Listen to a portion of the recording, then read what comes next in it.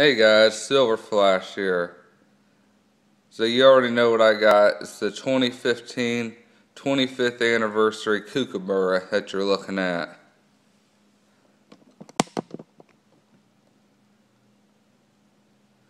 Very beautiful design. Here you see the P25 stand for 25th anniversary. This is the same design that was used on the 1990 Kookaburra.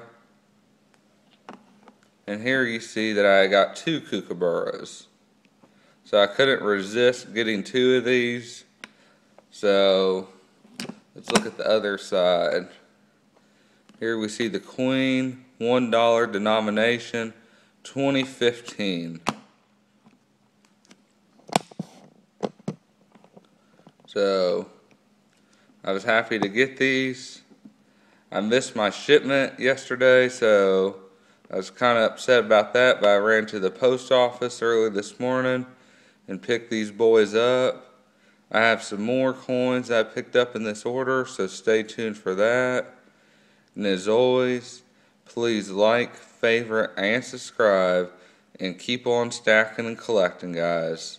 Silver Flash signing off.